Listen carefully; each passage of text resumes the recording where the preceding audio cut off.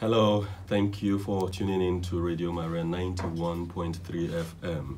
It is now time for Side by Side, where we discuss issues relating to conflict, peace, and security. I am Reverend Father Robert Achiaga. We are joined today in the studio by two very special guests. We have Professor Taiwo Abioye. She is a former Deputy Vice Chancellor of Covenant University, a research fellow at Lux Terra Leadership Foundation. You are welcome, Professor. Thank you. And Dr. Noel Ihebuzor is not a stranger to our listeners. He's a former lecturer, a public and social policy professional with many years of experience consulting with UNICEF, the World Health Organization, UNESCO, the Institute for Peace at The Hague, and uh, many others. You are welcome, sir. Oh, thank you for that. Now, the topic uh, we shall be discussing on the show today is promoting tolerance in our educational institutions. Our guests will help us unpack this topic. But before we get started, let us take a look at some headlines of interest. Let's begin with uh, the foreign headlines. Uh, first, Sweden, Finland to submit NATO membership bid Wednesday. Uh, there is also this headline that says McDonald's has said it will permanently leave Russia after more than 30 years and has started to sell its restaurants. Uh, well, you need some details on that because it is about the impact of the Russia-Ukraine uh, conflict. So, McDonald's first, the first restaurant, uh, McDonald's first restaurant in Russia was opened in Moscow in 1990, following the end of the Cold War as the Soviet Union was opening its economy to the Western world. The fast food giant said it made the decision because of the humanitarian crisis. And it made the decision because of the humanitarian crisis and unpredictable operating environment caused by the Ukraine war. The move, which affects uh, its 850 outlets in Russia, will put 62,000 employees out of job. Now, Dr. Noel, uh, this is another sphere of uh, the impact of the invasion of uh, um, Russia, or the invasion of Ukraine by Russia. Uh, we have seen different aspects of uh, the consequences of this invasion. But this story is about how it is beginning to impact uh, the world of jobs. Um, 62,000 people are going to lose their jobs. The 850 outlets of um, McDonald's will shut down. And this will definitely affect uh, the livelihoods of uh, people around these uh, outlets. Yeah, um, very true. The thing is, once uh, somebody uh, said that uh, war was politics by other means, now suddenly now it's beginning to look like economics is war by other means. And essentially the move by um, um, McDonald's is trying to put pressure indirectly on the uh, Russian administration to think twice because no, the decision they're taking has effect, has impacts that go beyond their relationship with Ukraine. So what is the, the whole end, end game here is to create a massive unemployment such that will lead to disaffection by significant portions of the Russian working class, such that will then um, provoke clamorings and such that will eventually push um, uh, uh, Putin to review his stand. Now the thing is, this is built on an assumption of domino, a domino effect in politics. That what a decision taken here is going to keep cascading and falling and causing other things to fall. I I agree, I can see the merit in it. But like they said, the devil is in the detail. I'd want to know whether indeed the transfer of ownership, who does McDonald's sell to? Is it a franchise? Is it disengaging completely? Or is it, again, trying to look good in the public eye while transferring ownership to a proxy? But whatever it is, this is a decision that's going to have long-lasting repercussions on the Russian economy because it's going to it's going to tell the Russian the Russians that no decision you take is cost-free. Every decision has a cost, and hopefully it will make Putin think twice about further aggressions. What I notice is that as uh, accounts of the story of the war keep coming in, that the war, the, the theaters of war are, are gradually being redefined, Yes. uh, gradually being redefined. And this pressure, he could yield, Putin could yield to it by just saying, okay, I'm going to stop where I am now. Because at a tactical level, apart from the um, non-performance of his forces, he's been able to achieve a lot of his objectives in this crisis. But I think that uh, McDonald's sends a very powerful message to the administration, and they will think twice before getting, uh, before moving on.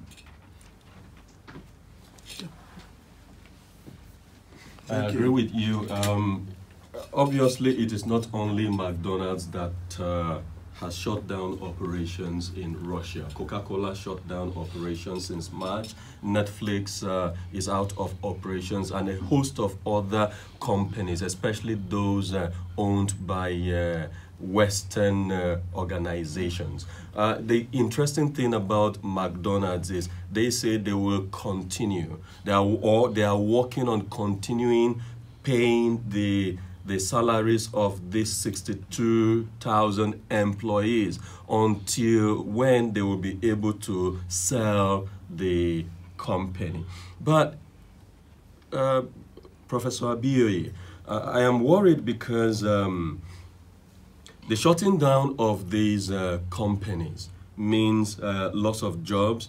The economy of Russia has already been impacted by sanctions.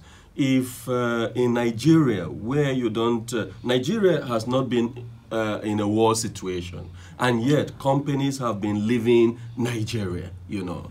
So if we have to have a grade of insecurity that comes close to what is going on in Ukraine, how really bad will it be? Thank you, Father. Um, I want to say that it's going to be very bad because um, right now we have issues of insecurity, kidnapping, and all kinds of things. So if uh, a big name like McDonald's is pulling out of Russia, then it means that uh, in Nigeria we'll have so many big names. The other time we were, we were told that uh, ShopRite was selling, uh was selling out, and um, uh, a, an indigenous uh, company took over, and um, I'm not very sure how that worked out. But then, by the time such things happen in Nigeria, it's going to be bad, because already the the um, insecurity in the society, the unpredictability in operations and everything. Today the trains are on, tomorrow uh, passengers, are, passengers are being kidnapped and then you cannot pass through a particular road, you know, and uh, all these issues, it will make it worse in Nigeria. And uh, that's why I think that um, uh, we pray that it does not get to that level. Yeah, we really pray uh, it doesn't get to that level, but we first have to work on it. okay, back home in Nigeria, we also followed uh, some headlines, and the first is, of course, about Deborah Yakubu, who was murdered in a most gruesome manner. This one says, Deborah, police declare fleeing suspects in viral video wanted. That's uh, a bit worrisome, but we'll move to the next one. So the second headline, still about Deborah Yakubu. It says, Senior advocate of Nigeria asks Sokoto governor to resign over watery charges against suspected killers. Uh, Dr. Noel, let's take uh, some more details on this one. The senior advocate, advocate of Nigeria in question is Ebun Olu Adegboruwa.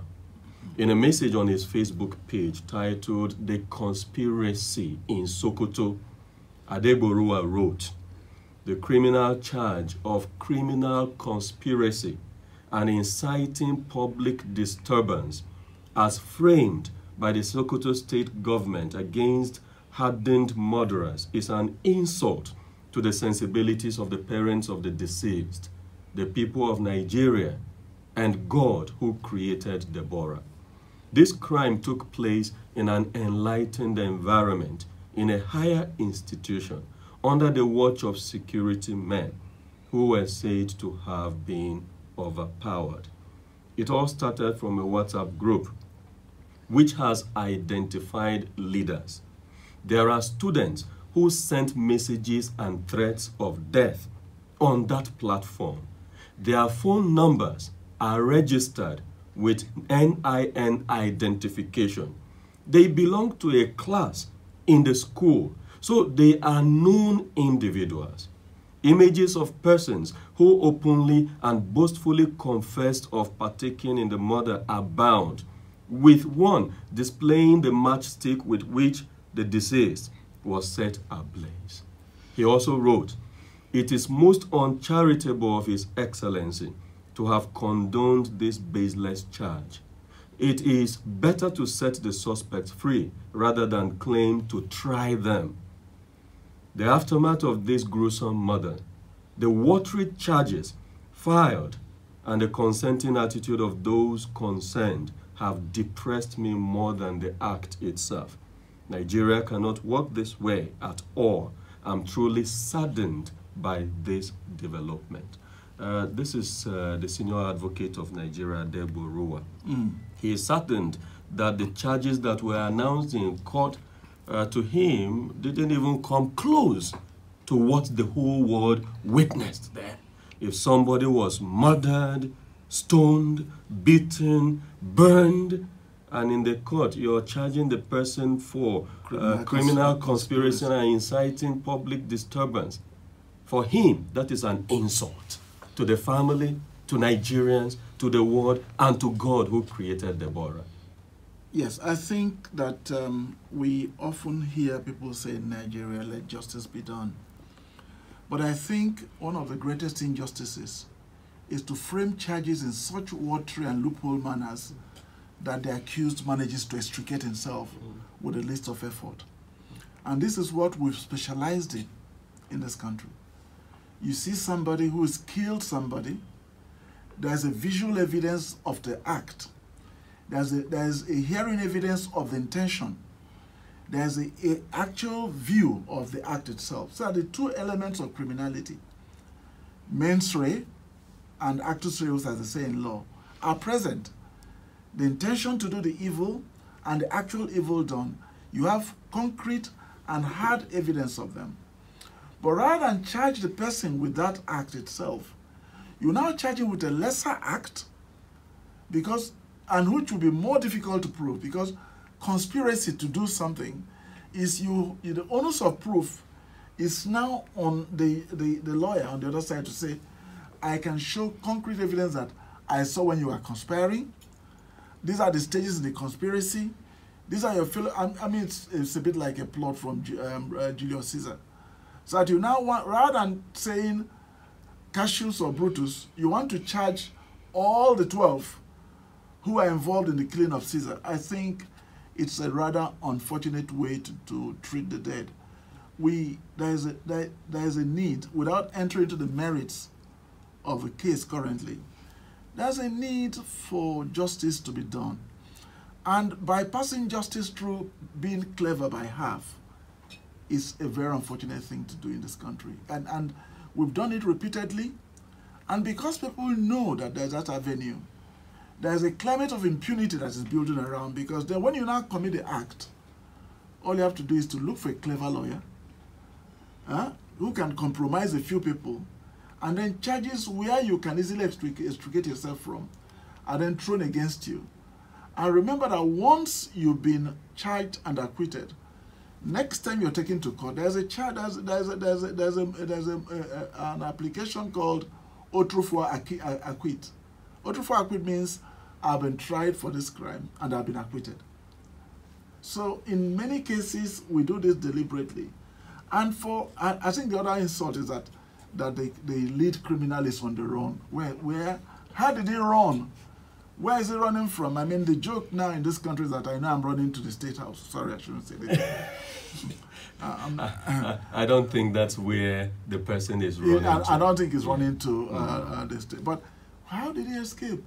So that that's quite. I mean, on on a ladder of responsibility, on a network of criminality and a network of complicity, there are too many people involved in this, and will not get justice by being mealy-mouthed about this or by actually compromising standards or ethics or rules of good judgment.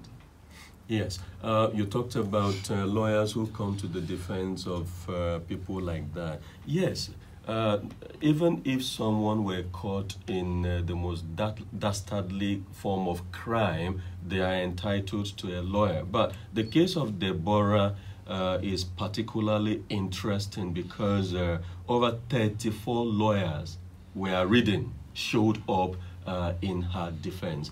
Well, what uh, the senior advocate of Nigeria said seems to be in tandem with the position of the Nigerian Bar Association. So we have this next headline Deborah. NBA asks Sokoto to file charges that reflect gravity of the situation. Again, uh, Dr. No, you had mentioned that uh, this is uh, not just an insult to the parents, it's an insult to also procedures. But um, uh, it's interesting to mention on this show that the mother of Deborah has spoken. Yeah. And uh, the family doesn't want anything about court. So they have a certain sense of justice in whereby uh, justice can be gotten in the presence of God. And whatever happens on earth here, they don't want to get themselves involved in. It looks like they have surrendered to the will of God and we move on from there. Um, let's take the next um, headline. This one says, Blasphemy. Don't kill Naomi Goni. MURIC warns Muslims. This is another case of blasphemy alleged blasphemy. So let's take a few details on these uh, headlines. The Muslim rights concern MURIC has intervened in another blasphemy saga in Borno State where a student of Ramat Polytechnic, Maiduguri, Naomi Goni, was alleged to have insulted the Prophet of Islam. Professor Ishaq Akintola, director of MURIC, issued a statement in which he said, and I quote him, one Abdul Majid Tanko is gay, who is leading the allegation against her, said in his post, There is a girl named Naomi Goni who insulted the messenger of Allah, peace be upon him. And in Islam, it is a death sentence, even if it is a Muslim. We therefore call on the Borno state government to take immediate action or else we Muslims will not sleep and we will take action. It is well known in Sharia, continues the director of MURIC, in Sharia circles in Nigeria, that a Christian cannot be taken to a Sharia court unless he or she expressly opts for it. Christians can only be charged to the conventional court, common law court. That is why Muslims of Borno State must allow the police to handle the case of Naomi, Goni.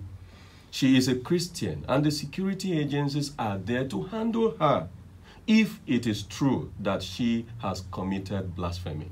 Muslims must stop issuing death threats concerning this case because the that creates the impression that we are living in a lawless society and that we have no respect for the rule of law. MURIC calls on Islamic scholars in Borno to follow due process. There should be proper guidance and tutelage for our youths. We should allow the police to investigate the matter. The youths should also repose confidence in the state government. I think this is a wonderful and timely intervention from MURIC. Mm. First of all, they condemn the attempt to take laws into one's hands. And then, very importantly, they clarify that even if there is a case of blasphemy, a Christian, by even Islamic laws, is not to be tried in a Sharia court. It is a civil court. It says, except the Christian concerned ought to be tried there. Messages like this are consoling, aren't they? Mm, yeah, indeed so. Madam, what do you think?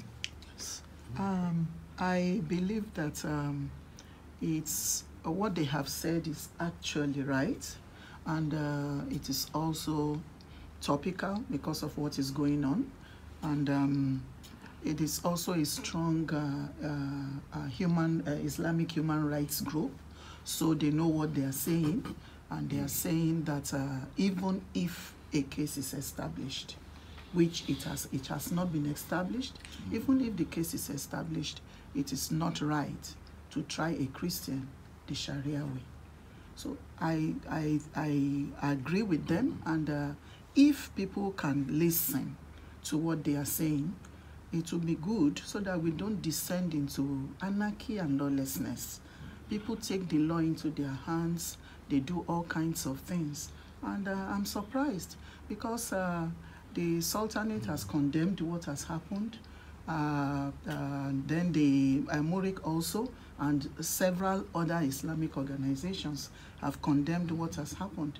If only these people can listen to what the others are saying, uh, it, it would be good because you cannot just go about uh, uh, pronouncing death sentences on people on the, on uh, cases of uh, alleged, I say alleged because in law it is still alleged, alleged uh, blasphemy.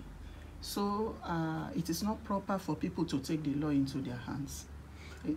Monday on this show we uh, we had uh, Sheikh uh, Nuru Khalid mm -hmm. and explaining what blasphemy is about, what Islamic, what true Islamic teaching about blasphemy is. You recognize that uh, in Nigeria, uh, messages like this come with quite some courage. And so this is commendable. It has to be said mm. on this show. Mm. Mm. Okay, let's take the next uh, headline. This one says Aviation Authority warns pilots, airlines over hazardous weather this about environmental security, right? Mm-hmm. Uh, we pray that uh, clemency in the world of uh, weather will be favorable. And you cannot be too careful. We have lost too many lives. So whenever we are able to take precautionary measures to protect lives and save ourselves from uh, unnecessary tears, uh, that should be done. We also have another headline that says eight killed 32 vehicles burnt in southeast Bloody Monday. Well, these, uh, the states involved are actually Imo State, Anambra State, and Enugu State. In Imo State, uh, there was a confrontation between uh, gunmen and uh, security forces. And uh, we understand about eight people, or was it six, were left dead uh, resulting from that consultation. In Anambra State, it was also uh, a, a, a, confrontation between security forces and uh, armed men.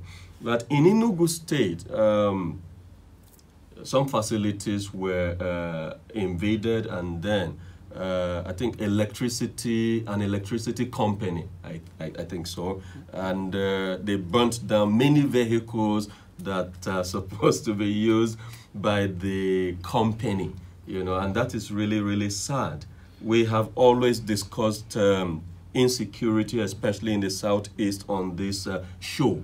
And we have always appealed to people in the Southeast to recognize that the destruction of public property is of great consequence, both to those who are destroying it and those who are not involved in it. The reason is this property is bought with taxpayers' money.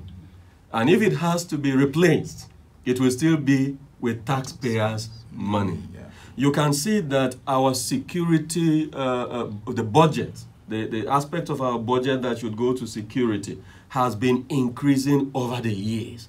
And because of that increment, money that should be available for health, for education, for infrastructure gets moved into security.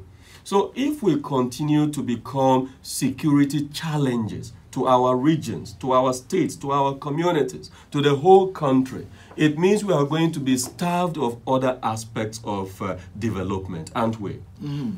No, you see, the thing is that uh, the problem in the southeast or in the in the Igbo-speaking states now is becoming an embarrassment to everybody. Um, you declare work-free days, no movement days, and all that, and then you now want to enforce it on everybody.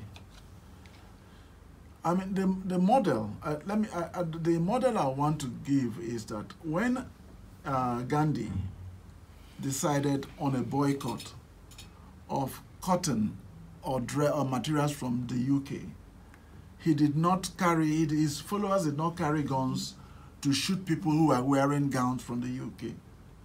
It was an appeal to conscience.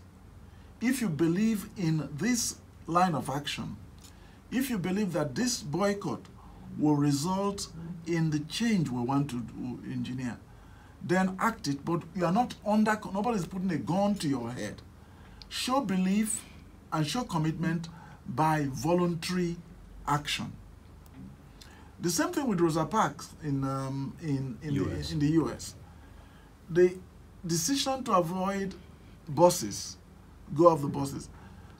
I mean, a few black people rode on those buses on those days. Nobody was there carrying a, a, a rifle, and in a country like America that's infested with guns, nobody was carrying guns to enforce that. But the thing was that if you believe in the, uh, the, the functionality of that approach, then you'll join us. But let there be no compulsion. In matters of belief, in matters of action to change a corrupt system, my thinking is let there be no compulsion. But what has happened here is that a number of people with pent up aggression, without direction, without leadership, are now competing for who gets into the public space, into the public domain, because each time it happens, it's reported, and then perhaps through a very egregious type of thinking, you're rising in in, in, in, the ladder of, of, of Some, some kind of outbidding. Yes. So I, I think that we should be very careful because you destroy things, those things will be destroyed, will be replaced with. But then there are things you destroy which can never be replaced. Human lives can never be replaced, Yes. and you can't put a value on a destroyed human life. You can't. And so my, my appeal to those people, to people, is that pursue your cause, but don't kill people in the, in the, in the, in the in, I mean here, I think that the words of Jonathan, for once, or in my political uh, career, the words of, no cause is worth a human life or the, the human blood. Yes, you have a grievance. Yes, you think you have a sense of entitlement. Yes, you think you've been wronged. But please do that without pursue that cause without sacrificing lives, without creating mayhem, without uh, engaging in massive destruction of property. And above all, it should be very clear to those you claim to be speaking for Yes. that you're really doing it for their own good. good. Such that when they begin to say, we are no longer at ease, you should reckon that they are really not at ease. Uh, Professor Abioye, there is this headline here that is quite positive and uh, we'll need to take a look at it. It says, Federal government orders resumption of Abuja Kaduna train service. Okay, some more details. In a statement on Monday signed by the spokesperson of the Nigerian Railway Corporation, NRC, Yakubu Mahmoud, The federal government said service on the Abuja Kaduna route, which was suspended since terrorists attacked a train, fatally shot several persons, and abducted scores of passengers in March, will resume on May 23. Part of the statement reads, and I quote The government wishes to reassure the relatives of the abducted citizens still in captivity that the self, safe rescue of these passengers is a top priority and not to misconstrue the resumption of train services as abandonment or nonchalant attitude of the government towards their plight. The federal government will never abdicate its responsibility in rescuing these valuable citizens. However, the government assures of its resolve not to succumb to threats by any faceless group. According to the statement, additional security measures being put in place to beef up security at the train stations and along the track include requesting for passengers national identification numbers NIN, valid photo identification card, and reachable telephone numbers of next of kin or close relative before boarding a train. Uh, now, Professor Biri, why this is a cheering um, statement, uh, I must underline the fact that government recognizes that the resumption of train services on this route, if not properly explained, could give the impression that uh, the state has moved on from the whole question of how to rescue those under captivity. And it is good that this was uh, underlined in this statement, right? Yes. Um, what I see about this is that um, it appears as if uh, government is not that serious because this has happened for some time now. Since March. Yes, and um, the people are still held captive. The relations of the people that have been kidnapped cannot overlook it. There is no way you can explain. If I were one of them, there's no way you can explain to me to say that uh, uh, government is working on it. I will not believe it because uh, it is uh, it is a general knowledge that the Nigerian government can do whatever it wants to do, if it wants to do it. So why is it taking so long? Because the longer these people stay in, cap in uh, captivity, the uh, more they lose hope about regaining their freedom. Now, government wants to resume uh, the train services. What other measures have they put in place? Is it uh, just asking for name, asking for next of kin? Uh, that's one. That's one to me will, is not enough. I find your question interesting because uh, the Minister for Transportation, uh, Right Honorable Rotimi Amaechi, uh, on the heels of this uh, attack, had said if their proposal to have um, security cameras along the track and also on the train uh, was approved and the cameras uh, uh, uh, installed, it could have forestalled this. The question is, now that they are resuming, do we say that that has been done? Because he seems to be very sure that if that measure had been taken, the attack could have been forestalled. So many Nigerians will be wondering, now that we are resuming, has that been done? Just to stress the, the importance of your question. Thank you. Yeah, further, I think the other, the other, the other worrying thing is that, like Prof has said, asking for names and identification possibilities is not security. It's just, it's like telling us, in case another kidnap happens, we now have a more valid way to identify the victims. I mean, so it's like government saying, oh, we our response to this is to make sure that next time there's a kidnap, we are up and running and able to provide the names of those provide, uh, kidnapped, the NIN, NIN numbers and all that. No, that's not security. What is security is ensuring, monitoring the whole of that rail track, having a response that will able to descend on any on any attack in the shortest possible time. And here I'm talking about rapid response forces. That either through drone technology or through uh, eye in the sky or through a satellite system would follow that train as it takes off from well, I, I, we, we can safely assume that uh, for government to come to that decision, some things must have been put in place. It is. Uh, we can also assume that security is uh, a public matter, but at a certain level, it has to be secret. Uh, maybe, maybe. Uh, some of these uh, security installations have been done, but they can't speak about them public. Whatever the case is, let us say we are safer if those things are in place. So we take uh, the last um, headline here. This one says terrorists reportedly abduct 30 commuters on Abuja Kaduna Highway. This happened yesterday in the Katari area of Kaduna State around 4.30 p.m. Several commuters were reportedly shot by the terrorists during the abduction. Uh, Dr. Noel, on Monday, federal government says we are resuming services on the Abuja Kaduna train. On Tuesday, the terrorists abduct 30 people. Could this be a statement? Uh, I, I, I, see it as um, opportunistic attacks by people who know that the security apparatus is at its weakest now.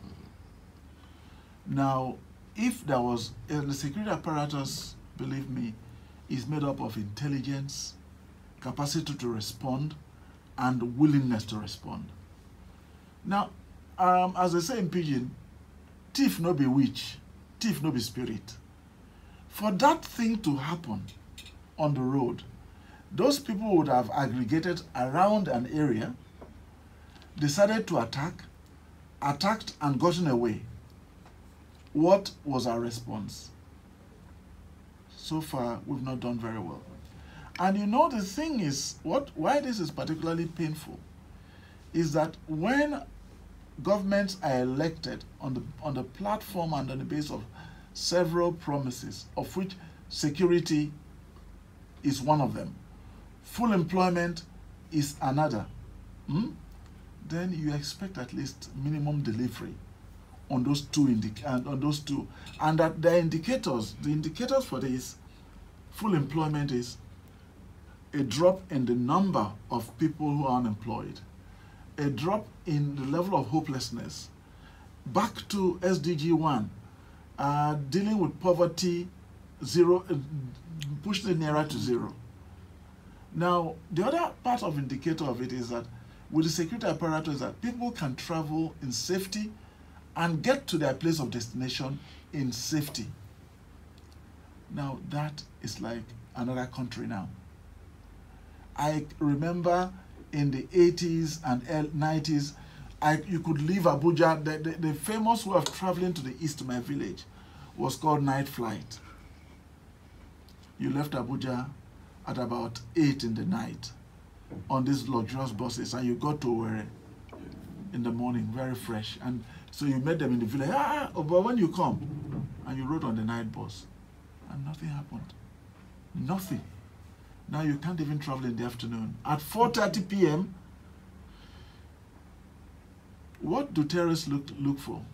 Opportunity, a window, and a getaway possibility. That's, a, that's what they look for. And once we create that opportunity for them, and how do we create that opportunity? If they suspect that we are slack. If they suspect that our response time is slow. If they suspect that whatever happens will go back to business as usual. It's very worrying. When the train attack happened, I said, so I said to some people, don't be surprised that when these fellows are going to move back to the roads. Now, if I started a church, I would be doing very well because it means that I have a gift of prophecy. so, so, if you start a church, I'll talk about you. okay, I think uh, that's uh, a very good point at which uh, we should uh, leave it. Uh, so we will take a break, and uh, when we come back, we will go right into the topic of the day. Stay with us.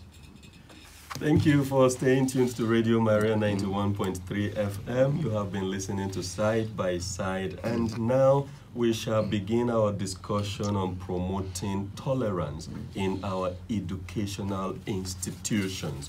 Promoting tolerance in our educational institutions. And I would like to welcome uh, Chiedu Ude. He is uh, in the studio. Chiedu, welcome. Uh, good morning, Father. Good morning, uh, listeners, and our guest, Dr. Noel Ihebuzor, and then Professor Bill. You're welcome. Thank you. Thank you. Uh, okay. Um, was killed by her fellow students. People she lived with, studied with, had the same classes with. They turned into a mob suddenly and killed her.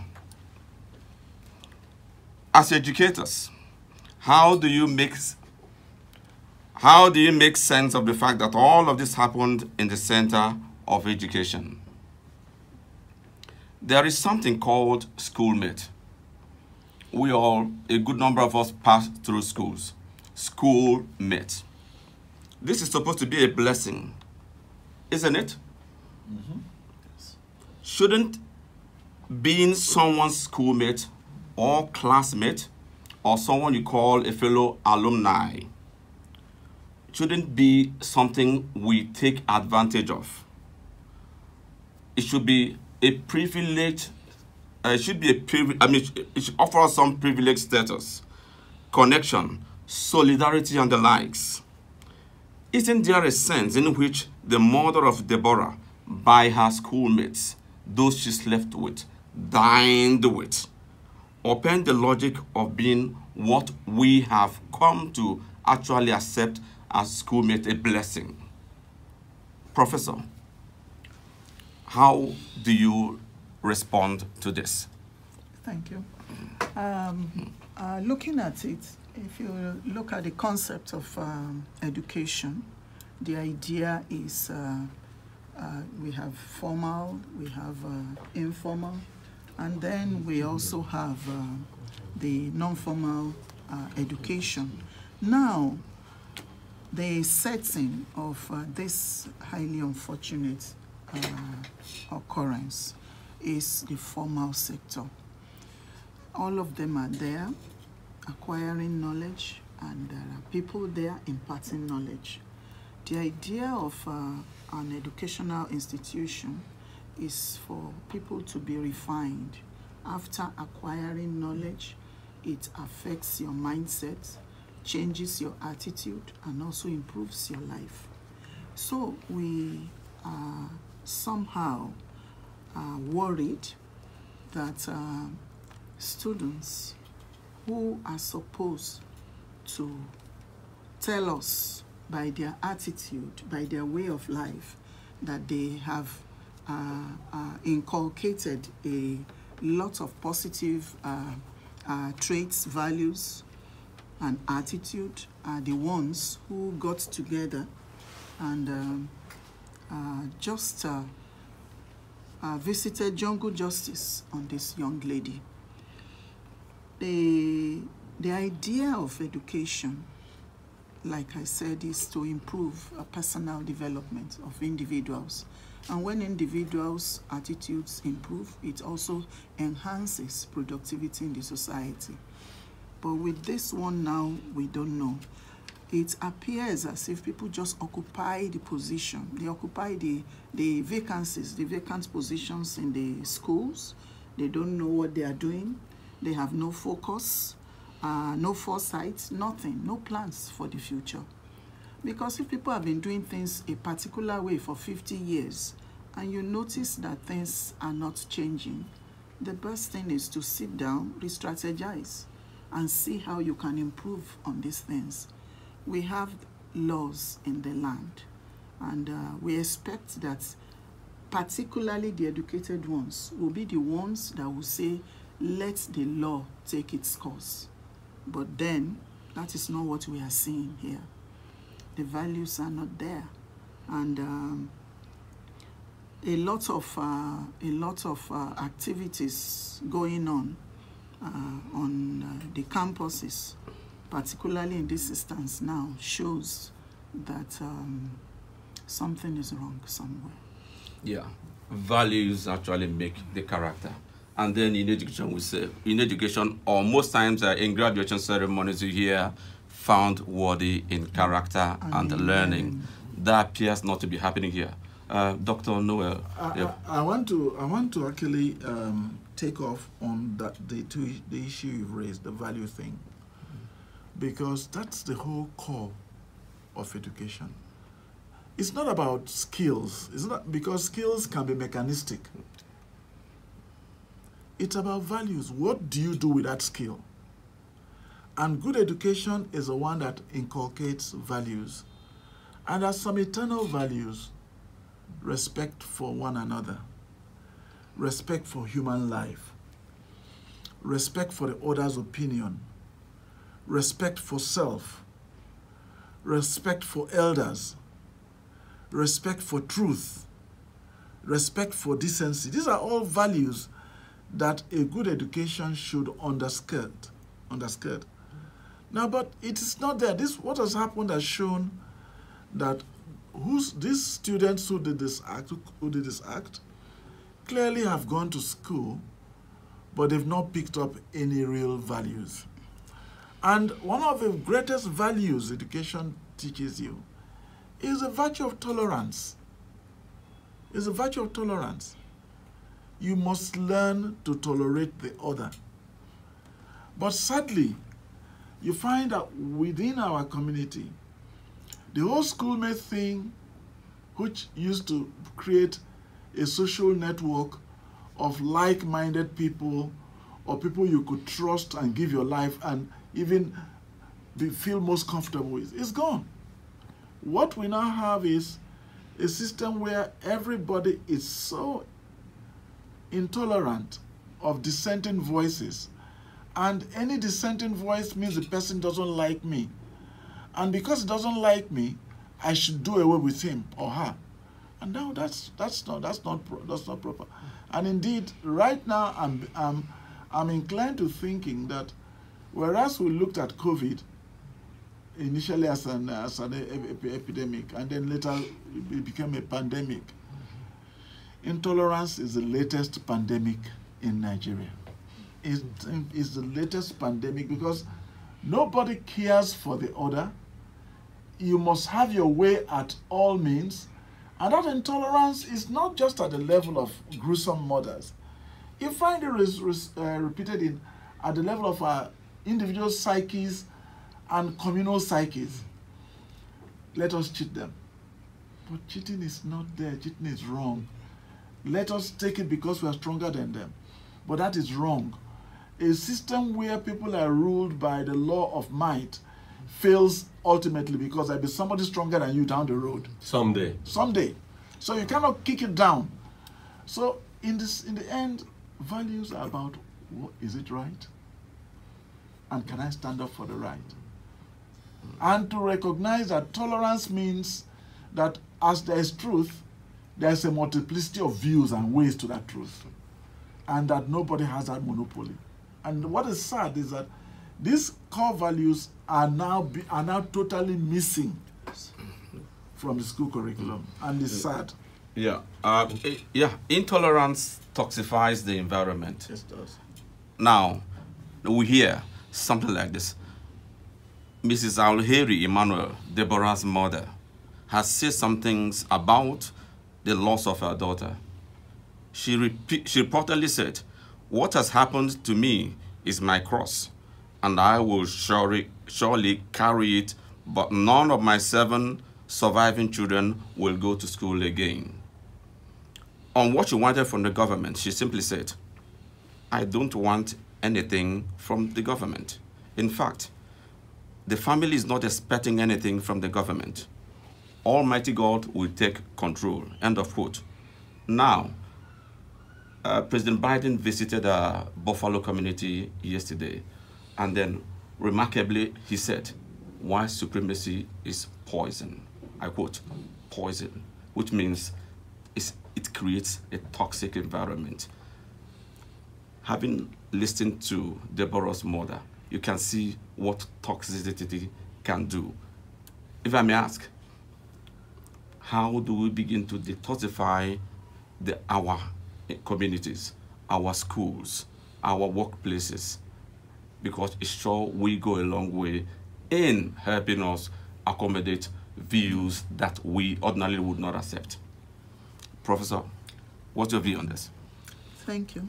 Um, looking at what the woman said, um, you could see that her heart is filled with grief.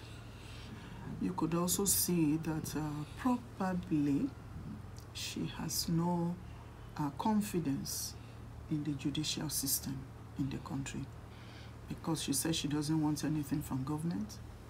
Apparently, uh, let me say, she, she believes that she cannot get justice. Then, uh, looking at what the uh, state government is uh, bringing out now and what the senior advocate of Nigeria said, uh, we can begin to understand why the woman said what she did, what she said. And um, by the time we, we examine it, we know that uh, it's, it's not uh, a good thing for, uh, for a woman to say that uh, none of her other children will go to school. We know the situation of uh, women education in the north. We know how serious it is. It is becoming, uh, almost becoming an epidemic. And then this woman has said this because of what she had to pass through. Um, it is not good, not for anybody, even in the south, it is not good. And then uh, by the time we, we examine everything, um, government should do something because the woman has already concluded that she cannot get justice from government. This government is there to protect your life, to protect lives and property. And now you are saying you don't want anything from them because you know you will not get anything. It is not a good one. I think we need to look at it. We need to examine this properly mm. and see how we can uh, see we how see how we can help uh, uh, uh, bring out certain things that can be useful. Yeah, yeah. Now, uh, ASUU has been on strike for months, but there's a more powerful message from this mob action. This woman has taken a decision to take keep her kids away from school, an involuntary, or rather voluntary action taken from something, um, one, um, so, something, uh, an action or an event that shouldn't be seen happening in our citadels of learning. Uh, Actually, it, it, it's not just this woman. Uh, I think it's safe to assume that there are some people who will now be scared of sending their children to schools in those places. There are also people who might be thinking of withdrawing their children from schools in those places. You remember because of Boko Haram kidnapping and others. Many people from southern Nigeria now are afraid of going on youth service in places where there is insecurity. With the case of Borno, Naomi, Goni, whose life is under threat now, you'll find a situation whereby many people will shy away from studying in places like that. But it is even much deeper than that. Uh, in order to use education to promote unity and tolerance, the federal government created unity schools. Things like this are going to make the aims of those unity schools to be defeated. Defeated. defeated. Yes. Yeah. Yeah, I think that uh, Chiedu asked a very, and that's very important question. Uh, intolerance uh, uh, makes an environment toxic. And the question is that how can we detoxify that type of environment? And I think that, well, this is an opportunity for us to sit down and think and find how we can strengthen the component of values education all through the length and breadth of our school curricula. Because we need a values education that recognizes that you don't have the monopoly of truth and of views, and that um, that that different people may are entitled to different opinions, and the fact that somebody holds a different opinion from you does not confer on you the right to sentence that person to death. And I think this is what's happening. We need to seriously do that and free the education system.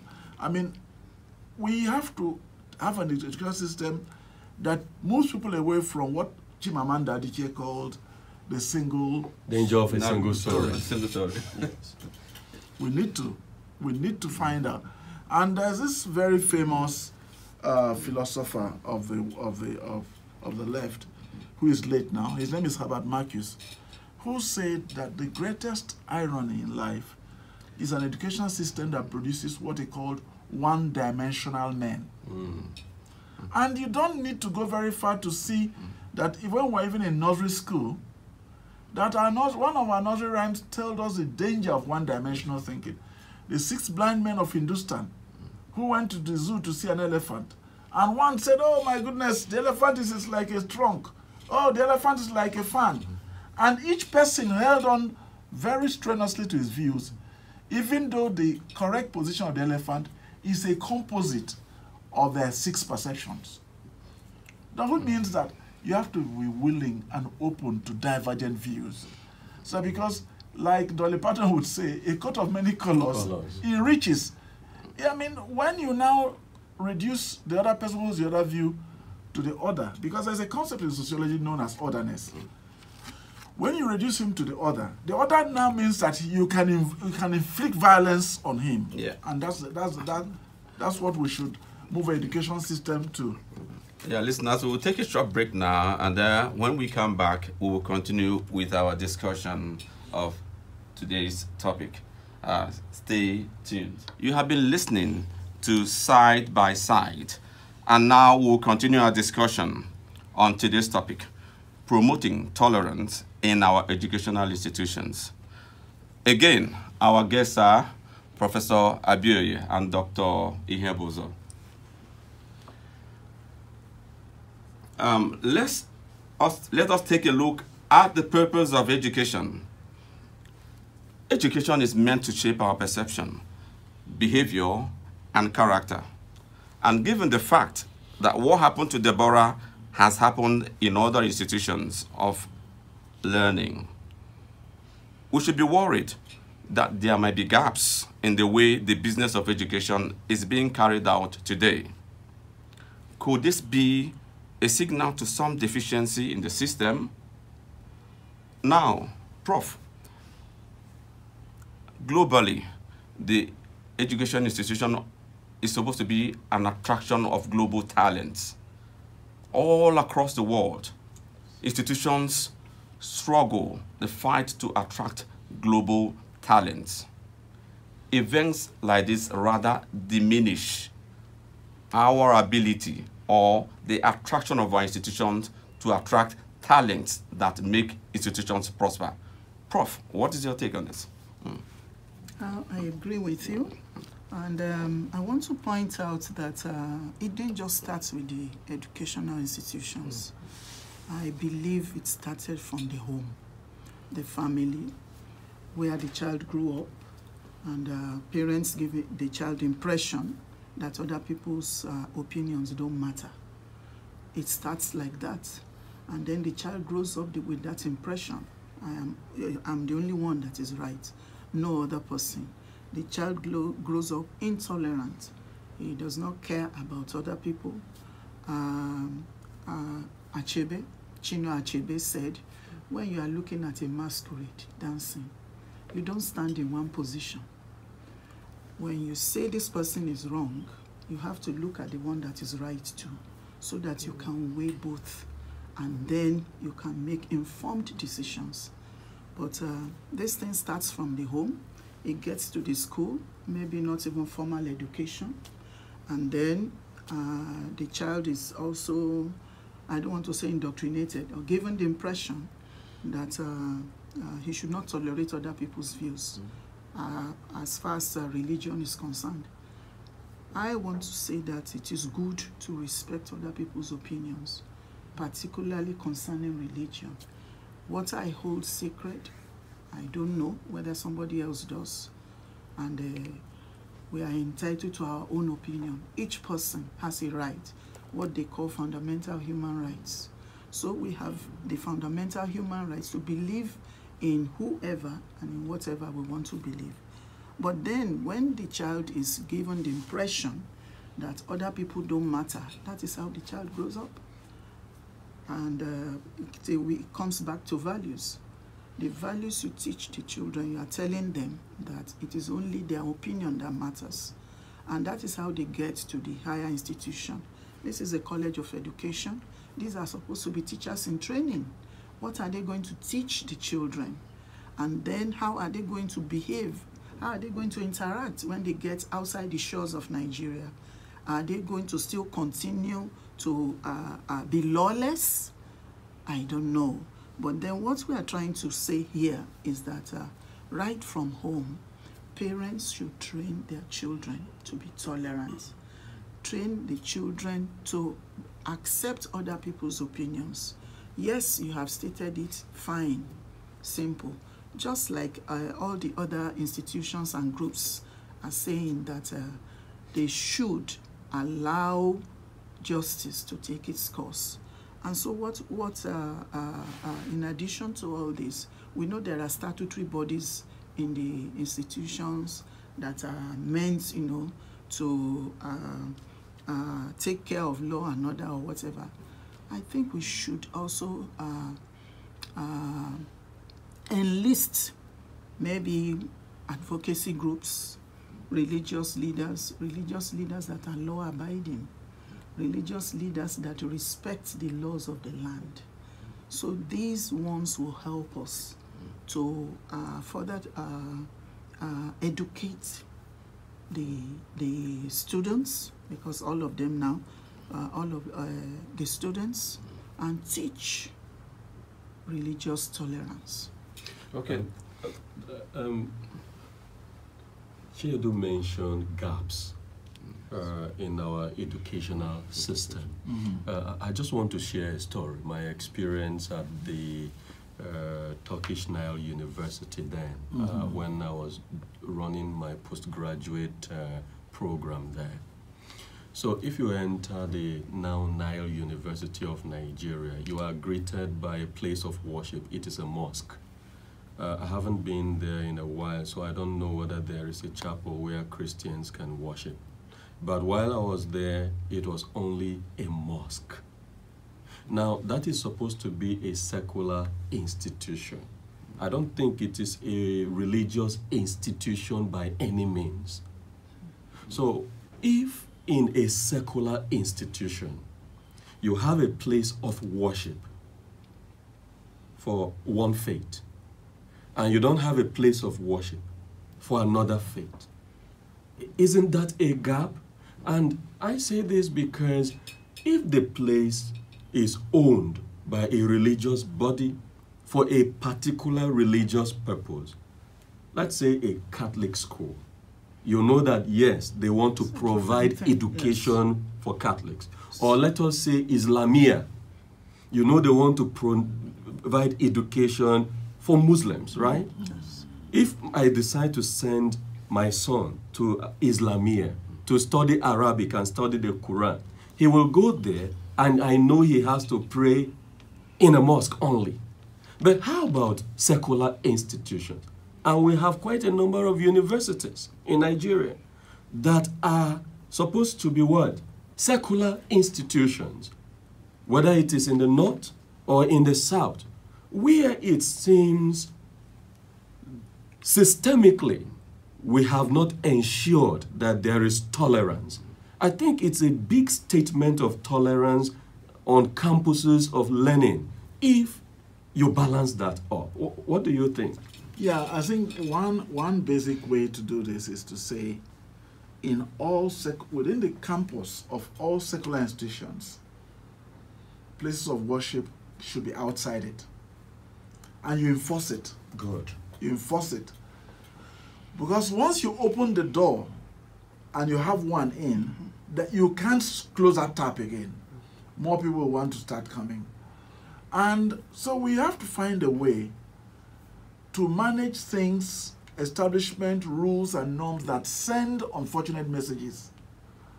And the unfortunate message that you're sending by allowing one sect to open a mosque or a prayer point is to say, well, we're leaning to this side. Now, if the other ones now want to countervail, they'll be seen as challenging. Because they will say, no, oh, you, are, you, want, you want a church because you saw a mosque. That is one.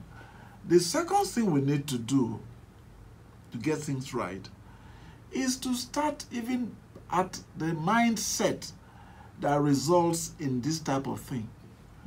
We've got to change that mindset that you don't have to impose a physical structure for the worship of, of, of, of, uh, of the exercise of your faith within a secular institution.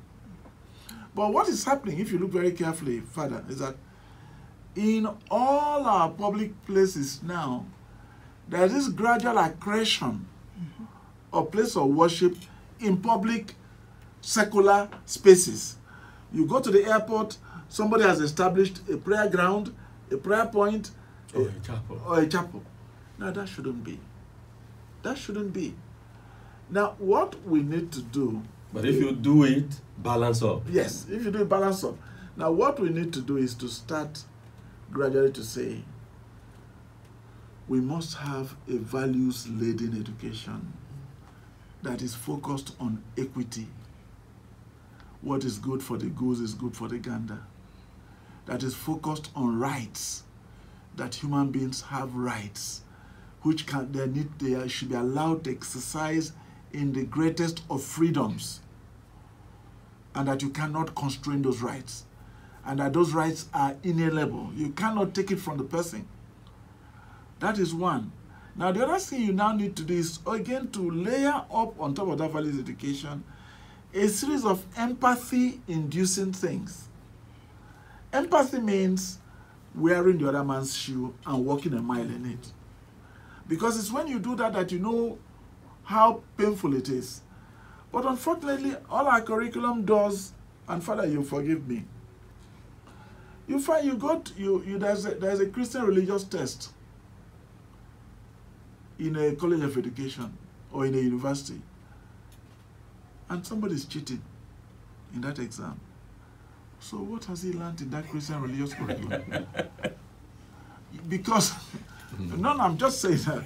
Now, and I'm sure that your followers won't come and burn me because I said this. Uh, No, I won't. I, you know very well I won't burn you. So, so now somebody is there, a Christian religious uh, test, and the person is colluding with another person, or he's, he or she has written the answers on his or her lap. Now, what is wrong with the system then? It's because there's no morality, there's no ethics, there's no value. Think about it this way again. The lecturer in a college of education who says if you want 70% average, the cost is 50,000 naira. Father, you don't know these things. It's called sorting in our Nigerian universities. You sort and you get a mark. You sort. There's a class captain whose job it is to collect the money and hand over to the lecturer.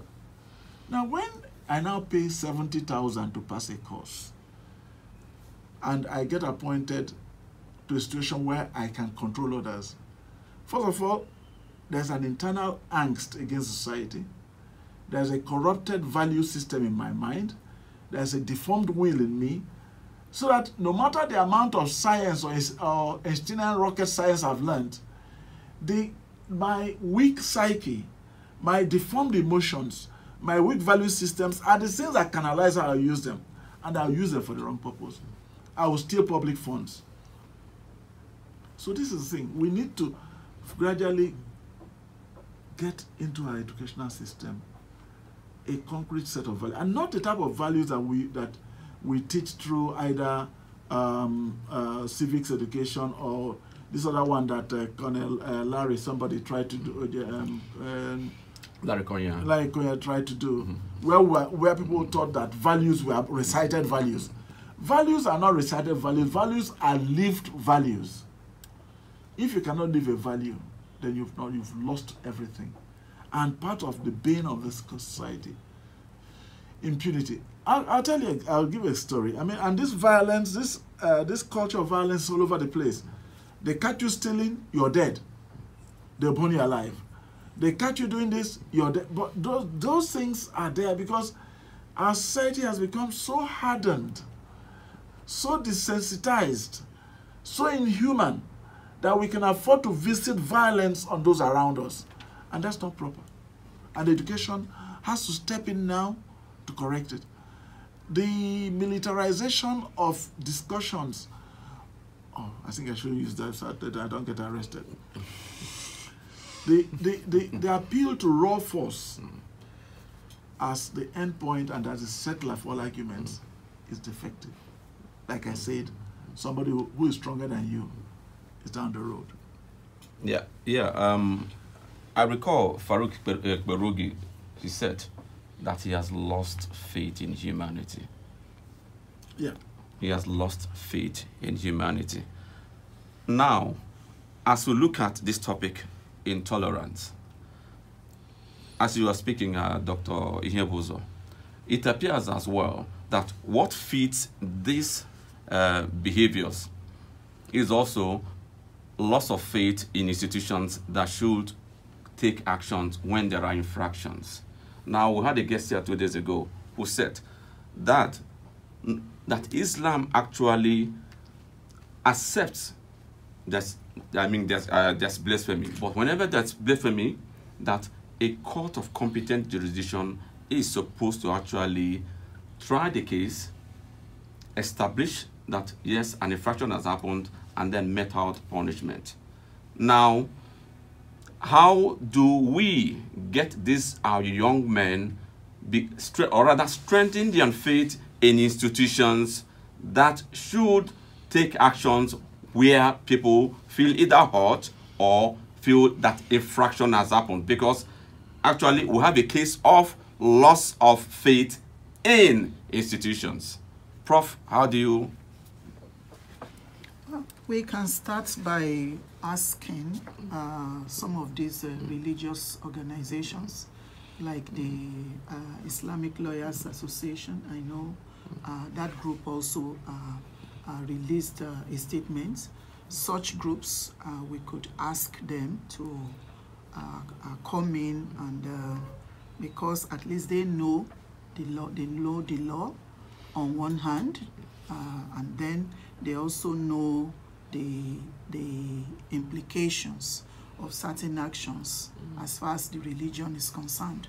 So these people could come and sit down, like I said, uh, uh, like an advocacy group, sit down with some of the students, maybe the leaders and everything, and then ensure that they put uh, uh, things in, in place to ensure that whatever happens, there will be a process whereby people can get sick and get redress.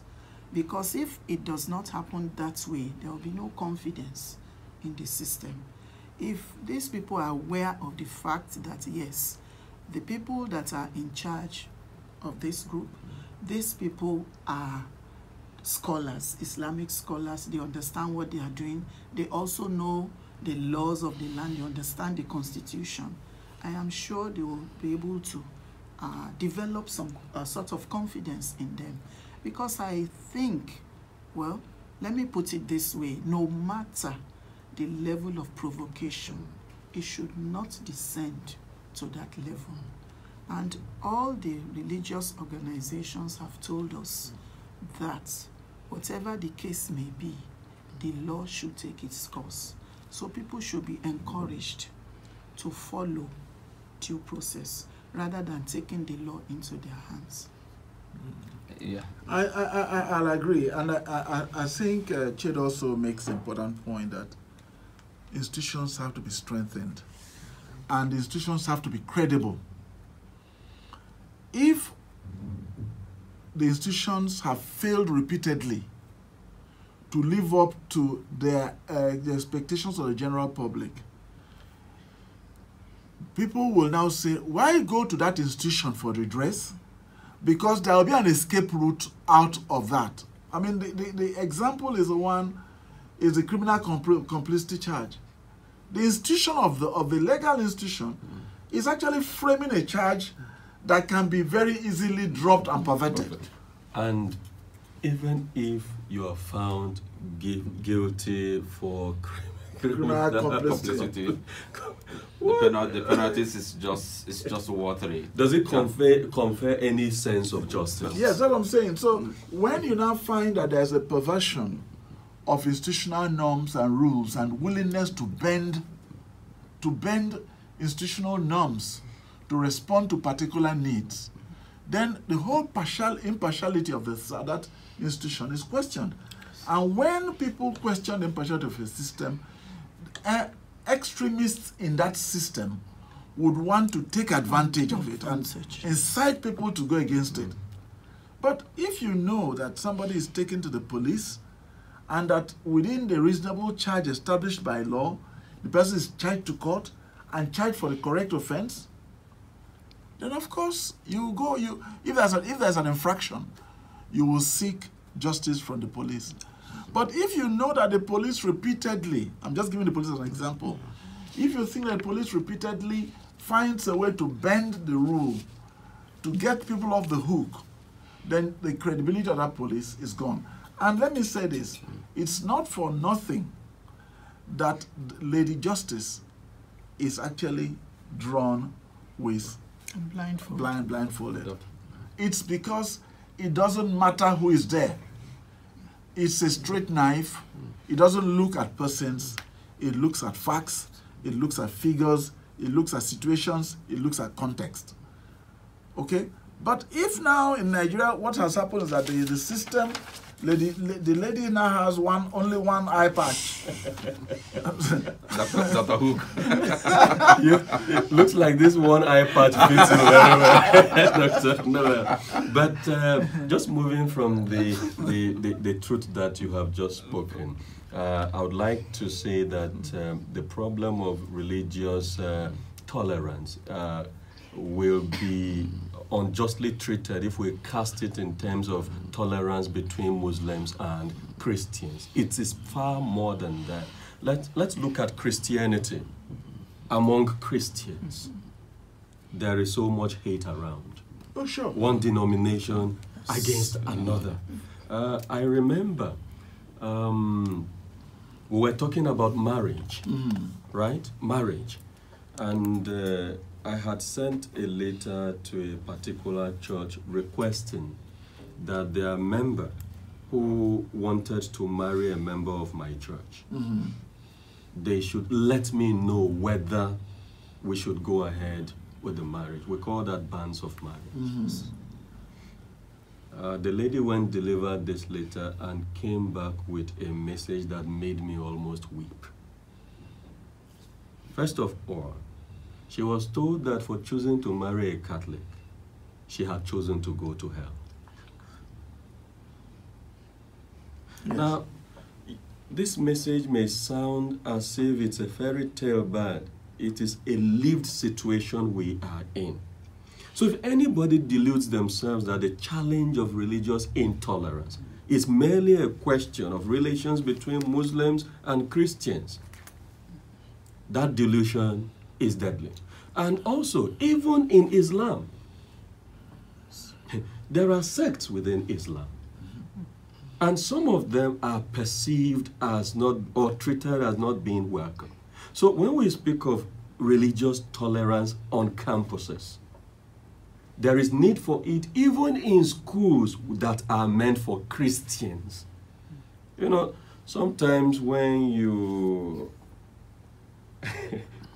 we are in a dire, well, they call it dire straits, right? That's exactly where we are. And if people can engineer a change in orientation, that will go a long way. Yeah, Father, I think that, I mean, it, uh, would be unfair if uh, we, we reduced intolerance to religious disagreements. The, the, the, the core of it is that there are a multiplicity of, multiplicity of views and multiplicity of points of view. And multi and I mean further if you look at the whole thing about philosophy of science and proof of facts one method is what they call triangulation. You look at it at at, at a piece of event from about multiple perspectives. Now that in itself says tolerate different views so even the philosophy of science and the philosophy of investigation accepts that. No, it's not about between Muslims and Christians. It's about disagreements between uh, generalizing and what I said initially that sociologists call otherness. The other is a person who is externalized. And you can deal, because you externalize him, you, uh, to use a French word, you, you chosify him, you make him a thing. And because you make him a thing, you deny him of humanity. And because you deny him of humanity, then you can kill him. You see, it, it's, it's, a, it's, a, it's a three-step process that warps your mind. He's the order. The order is evil. But then in our place here, it is safe and sound. I mean, Father, there is, a, there, without mentioning names, that, there's, that in politics in Nigeria, there's a group that says, cross over this line and all your sins will be forgiven. But I won't mention the name of the party. No, they have no name. Okay. Okay. Uh, Prof, you wanted to add something before we tidy up. Yes, I just wanted to say tolerance should be at all levels and from different aspects. Economy, from the economy, we look at the way we sell, you know, the way we sell things. How do we do this? A, uh, a lot of people want to make profit at the detriment of others. Let's look at it. Is it fair? And then we look at uh, the political aspect, different aspects of life. We need to be tolerant as much as possible so that we can also be tolerated. Because the way you are thinking that somebody is not uh, so good, the same way the person is also looking at you that, uh, no, I don't think I can have anything to do with this person. So if we can practice some level of tolerance, at least let us start from there, different aspects of life, I am sure it will help us a lot. yeah. I was going to just before you uh, Chiedu wraps up. I was just going to say I'll leave our listeners with uh, something to think about. Uh, we learn tolerance from the most unexpected persons.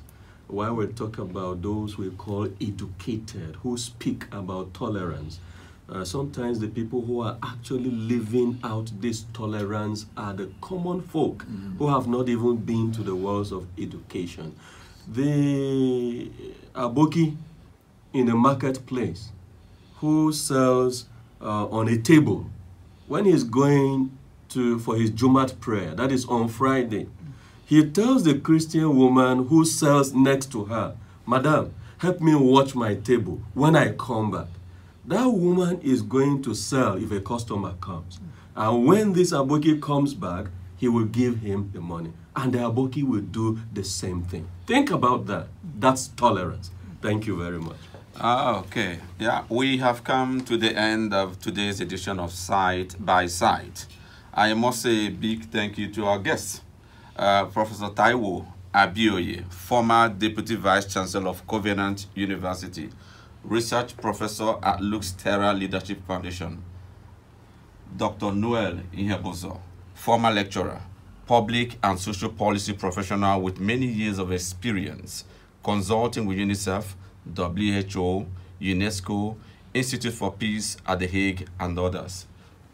Thank you very much. Thank you, Chiedu. Thank you. Thank you, Father, Thank for you, inviting Father. us. And our listeners, thank you for joining us on the program.